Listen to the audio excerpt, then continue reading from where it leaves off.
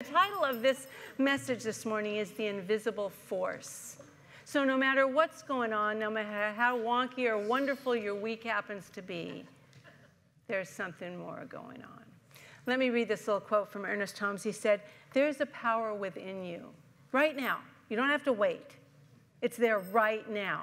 There's a power within you greater than you have ever known. It, is it knows no defeat, and it is never depleted. That's the power that's in us now.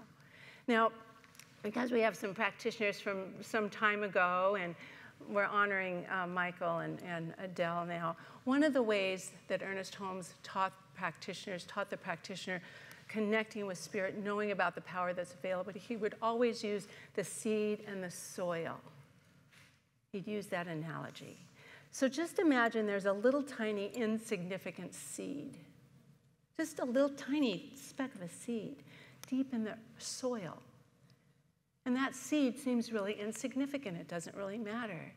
Yet that seed has the potential to grow into a mighty oak tree and bring shade and shelter to generations to come. It sits in that soil right there. It needs the soil to give it what it needs and a few other conditions. But that's the same with us. We have that place in us that holds potential and creativity and that invisible force and power right there. The soil that holds the seed, which is us, the soil, which is the potential and the creativity and the possibility that's out there, is what the plant grows in and what we grow with. And that's the soil. We need to work with it, but we need to claim it and harness it. Why then do so many people feel exhausted, weak, stressed out? Why is that when that power is right there? It comes because we're not aware of the truth of life. We're too busy out there. Because that little seed, that spark in us, transcends the physical. It goes way beyond the physical. And we have to take time to take a step back from getting so involved in this crazy world. You know, we have blind spots to all that power that's there. We may call it God, we may call it compassion, we may call it creative potential. We get a blind spot. Do you know there are some people that put off being happy? Can you believe that? With all this potential and power and goodness and love and everything that's there. Michael, you read it in your reading this morning. All that wonder that's here right now. They put it off because they're going to wait until they get a bigger bank account, a perfect partner, a better home. Um, give me something else. Better health. Oh my gosh, who forgot that after being in ER this week? Um, uh, yeah, what else? Oh, more ed education, yes. Oh, I already have that one, so forget that. That's the joy of everything. Um, yeah, but we put it off, a travel. And you think, oh, I'm not happy because. But when Michael was reading from, I'm not sure what book you were reading from, Michael. This Thing Called Life, one of Ernest's best book.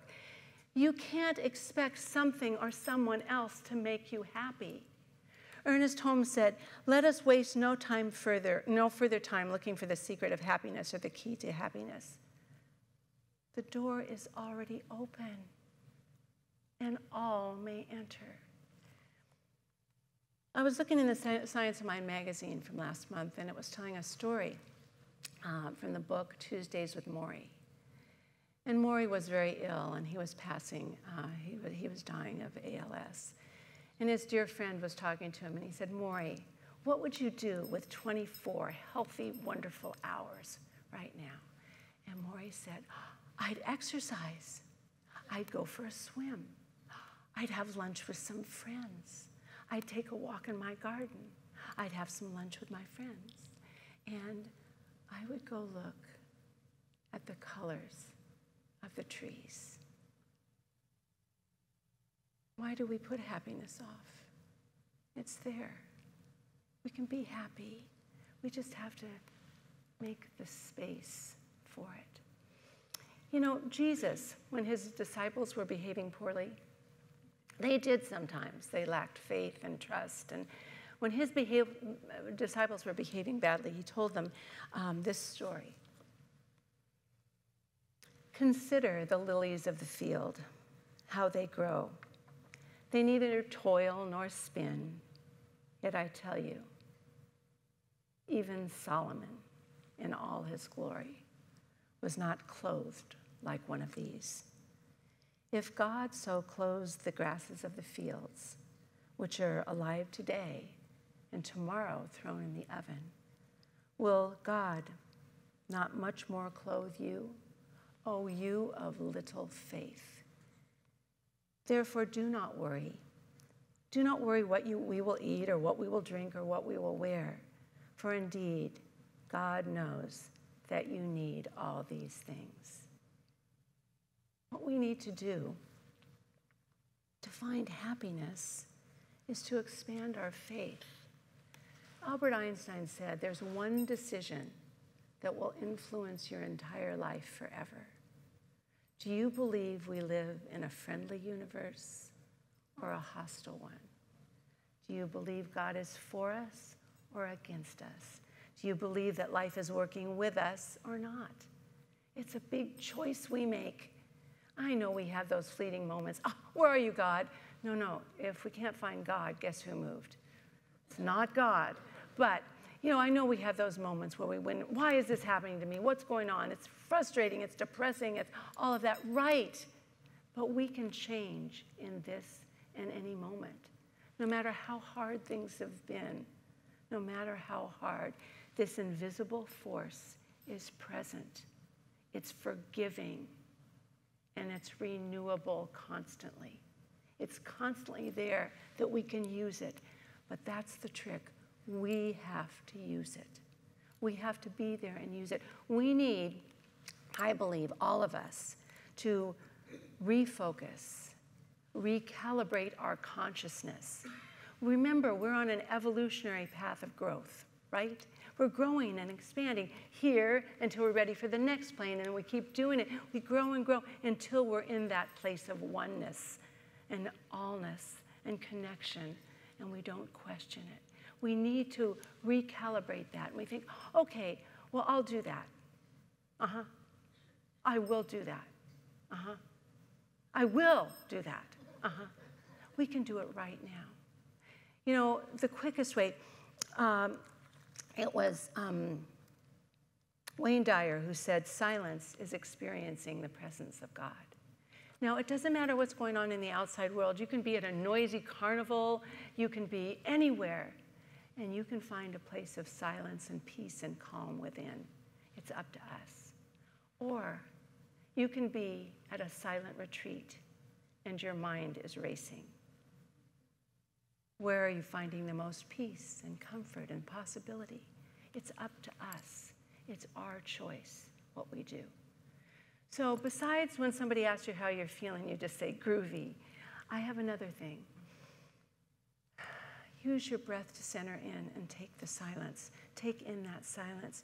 The composer Johannes Brahms said, I always contemplate my oneness with the Creator before commencing to compose anything. Are we that dedicated? Are we that focused that we tune into the presence? In the heart, when Gretchen was singing, in our heart is where it starts. That's where God communicates in the language of feelings. We have to get connected to the heart and then move out from there. It's the heart that starts. So take the time to go in and feel that presence. Be that little seed, be the seed, and know that there's so much you don't know yet inside of you, so much ready to be expressed and explored. It's really quite exciting to sit there and know that. Um, Ernest Holmes goes on to say about this invisible force that this force is not about just personal gain. It's about love and service because our actions and what we do make a difference in the world. whether we know it or not. When was the last time you had someone come up to you and thank you for something you didn't even realize you did? Because it's just something we do automatically. We've trained ourselves. They thank you for that. You know, I bet Kathy Juline doesn't know I thank her almost every day because her book is right there on my desk. You know, people do things in the world and you don't know, realize how your legacy is passed on and on and on. And we get to do that. We get to really feel that connection and power just by recognize that possibility is in us right here and right now. You know how when um, I'm trying to think who says that poem, if it's Rumi or Hafez. It must be Rumi. I don't know.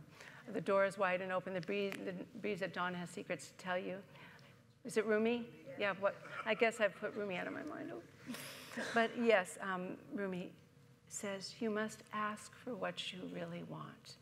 When we get to that doorway where the two worlds meet, we've got to ask for what we really want. And I think it boils down to not things, but feelings.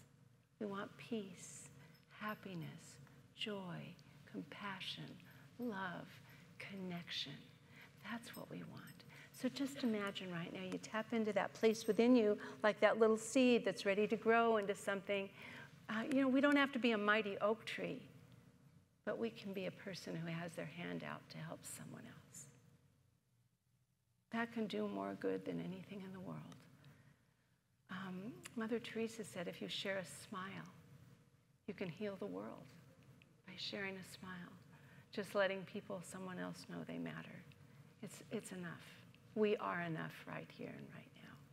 So I'd like you to take that energy in this moment. Just breathe in and join me in a prayer right now as you unfold yourself and open up to that greater good that's present right here in this moment, that invisible force of love, the law of goodness that's at work, working for us right here and right now as we open up and know the truth that this spirit, this energy, this potentiality is all there is. It's all around us, it's through us, it's in us in this and every moment. And as we breathe this in and be aware, open our awareness to understand there's something so much greater at work right now that's working for us in this moment.